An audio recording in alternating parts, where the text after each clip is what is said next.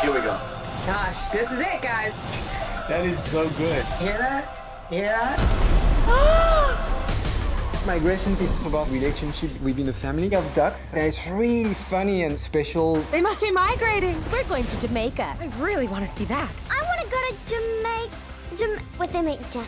The father is really protective with his family, and at some point he realized that actually the family wants more. Miss out on life because you're afraid to leave this pond. They need to discover the world. Let's fly. Hey!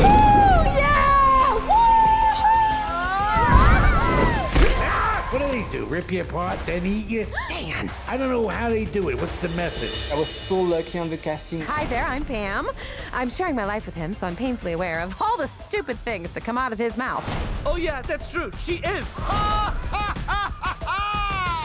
stick close to me, and everything will be all right. They're all so great, and it's this kind of session where you're just tired of laughing because you laugh so much. We're trying to get to Jamaica. Ah, yeah, yeah, that's in Queens, right? Uh, more south.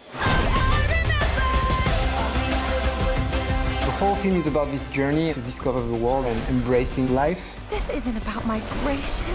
It's about adventure. Whatever you're expecting over there, it's going to be even better.